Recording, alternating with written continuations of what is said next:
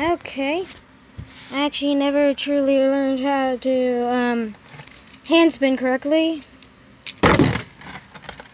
Um, can you teach me how to handspin?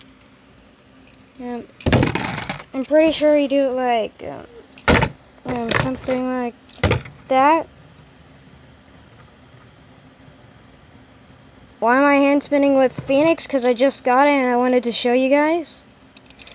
Um, I'll show you more Phoenix. Just hold on while I put you against my my inked up stadium. It is very complicated. I've always wanted Phoenix, but it's very complicated. Okay. This is Phoenix. And, um...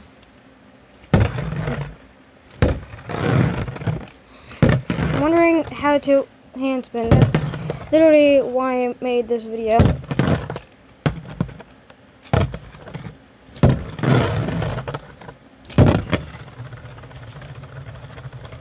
Okay, I'm hoping you guys can you can teach me how to handspin. Okay, so that's all. Uh, see you in the next video.